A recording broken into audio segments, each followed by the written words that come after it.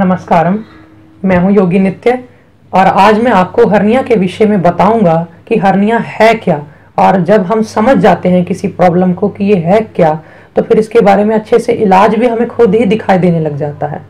सबसे पहले तो ये समझना है कि जब हमारे शरीर में प्राणवायु कम हो जाती है शरीर में वीकनेस आ जाती है या जिनको शुरू से ही जन्म से ही बचपन से ही वीकनेस रहती है मसल्स का विकास नहीं होता अच्छे से या विकास आ, करवाते नहीं हम हम व्यायाम नहीं करते, ज़िंदगी में कभी कोई व्यायाम नहीं करते। या बहुत ज़्यादा कई लोग व्यायाम कर लेते हैं, बहुत ज़्यादा झटके मार लेते हैं, शरीर को इतना खराब कर लेते हैं, इतनी ज़्यादा एग्जर्ट कर लेते हैं बॉडी इन सब स्थितियों में, या कई बार शरीर इतना होता ही कमज़ोर है इतना, या इतना मोटापा होता है शरीर में कि इन सब स्थितियों में शरीर ना ज़्यादा पतला अच्छा है, ना ज़्यादा मोटा अच्छा है। तो होता क्या है मसल्स जब वीक होंगे डाइट की कमज़ोर कमी की वजह से बे टाइम खाना, गलत आहार खाना, जो चीज़ें नहीं खाने लायक वो खाना, जो जिससे ताकत मिलनी है, उस ज़िंदगी में कभी सब्जियों को हाथ ना लगाना, कई लोग बच्चे करते हैं, सब्ज़ी को नहीं खाएँगे फ्रूट नहीं खाएँगे फिर बाद में जब बड़े थोड़े से होते हैं तो फिर वो समस्या आनी शुरू हो जाती है। खासकर माताओं बहनों को डिलीवरी के वक्त या उसके आसपास या बाद में वो ऐसी समस्या हरनिया की आ जाती है। मसल्स वीक हो जाते हैं क्योंकि गर्भावस्था के दौरान मसल्स थोड़े स्ट्रेच होते हैं और मसल्स फ्लेक्सिबल भी होने ज़रूरी हैं।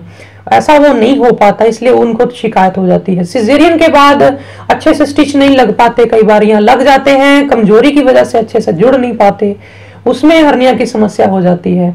या कईयों को गलत सोने का ढंग, गलत उठने का, बैठने का ढंग, उसमें उनको हो जाती हैं समस्याएँ। जैसे कईयों को हरनिया भी कितने तरह का होता है। एक तो यहाँ से फ़ूड पाइप जो थोड़ी ऊपर आ जाती है, वो खिंच जाती है तो वो उसको बोलते हैं हाइटस हर्निया। हाइटस हर्निया में फ़ूड पाइप थोड़ी ऊपर आ गई, उससे फिर एसिडिटी रहने लग जाती है, खट्टे मुँह में पानी आने लग जाता है। ये इस एक तरह का हरनिया हो गया। फिर मल जो पुरुषों में अंडकोश के थैली में आंत उतर जाती है इनग्वाइनल हरनिया बोल देते हैं उसको। ये भी कई इसके कारण हैं। हालाँकि हरनिया में लंगोट बाँध के रखने का विधान है तो लंगोट भी अच्छा है।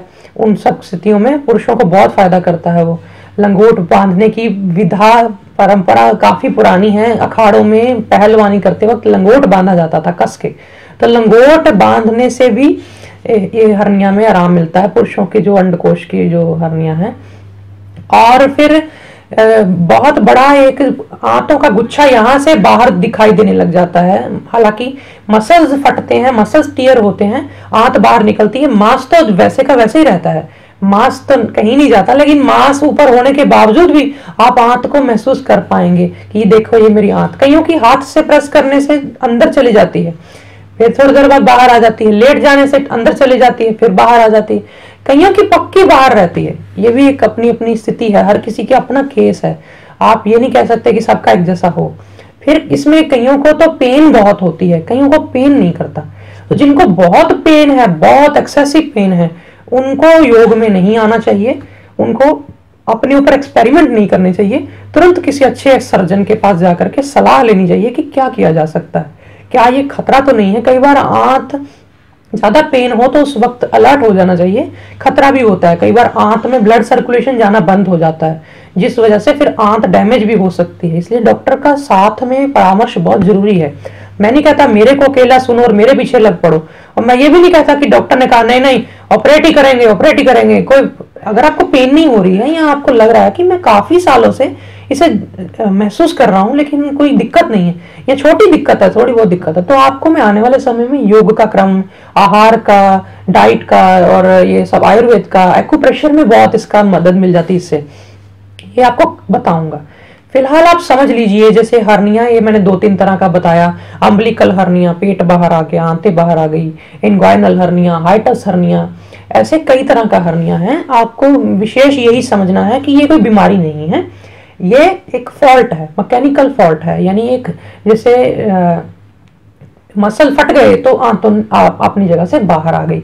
अब इसमें आपको ये एक बार समझ में आ गया ना, ये होता क्यों है? मैंने बता दिया कि शरीर में मसल्स में इतना स्ट्रेंथ नहीं रही, या बॉडी में प्राण ऊर्जा कम है, जीवन ऊर्जा कम है, खुराक अच्छी नहीं लेते हैं, या कई बार करते हम क्या है, ज़्यादा हमारा व्यायाम ही ऐसा होता है, डे का रूटीन ही ऐसा होता है, यहाँ तो बिल्कुल लेथार्जिक कोई काम नहीं करेंगे, या इतना हम मेहनत करते हैं, इतना वज़न उठाते हैं, झटके मारते हैं, कई बार जिम में जाते हैं लोग तो पहले ही दिन से ऐसा वेट लगाना शुरू कर दिया या ऐसा, कोई भी चीज़, एक पहले ही दसवीं सीढ़ी पे पाँव रखेंगे तो आप गलत कर रहे हैं। हर चीज़ का धीरे धीरे रियाज बढ़ाइए।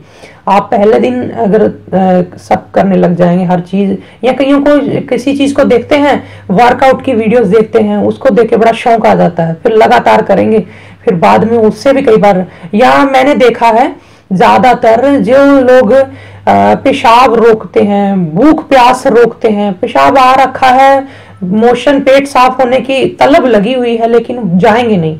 क्यों? मैं थोड़ी देर काम कर लूँ, मैं थोड़ी देर टीवी का, एक सीरियल का सीन देख लूँ तो ये पूरा हो फिर ही जाऊँ। ऐसा ना करिए। उसमें भी आंतों पे मसल्स पे ज़ोर पड़ता है तो कमज़ोर वो व्यक्ति को झेल नहीं पाएँगे मसल्स, कमज़ोर व्यक्ति के। स्वस्थ व्यक्ति तो कई बार झेल भी लेता है हमारे आपके जैसा, लेकिन जो बेचारा बीमार होगा जिसके मसल्स में जान ही नहीं है, प्राण ही नहीं है तो वो बेचारा नहीं झेल पाएगा इस तरह से। भूख, प्यास छींकते हैं ज़ोर से तो पूरा खुद अपनी तरफ़ से बनावटी ढंग से इतनी ज़ोर लगा के सिर मारेंगे। तो वो गलत है। आपको इस हम चीज़ों में ध्यान रखना है। अपने ना तो छींक दबानी ही है। दबा लेते हैं कई लोग, ऐसे करके आने नहीं देंगे उसको। हर बार ऐसे करेंगे। ऐसे में भी फिर शरीर जो है, वो उसका सारा लोड आपके मसल्स पे आता है। आपको ये चीज़ें बड़ी ध्यान से समझनी है। खड़े होके पानी नहीं पीना है।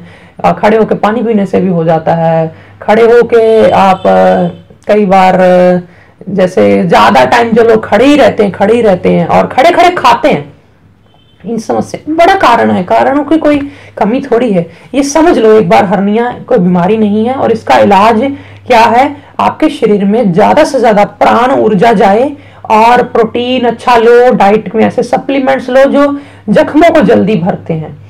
यानी जख्मों को जल्दी, यानी कि कोई जख्म हो गया है अंदर, यानी आपके मसल्स को दोबारा सिलना है।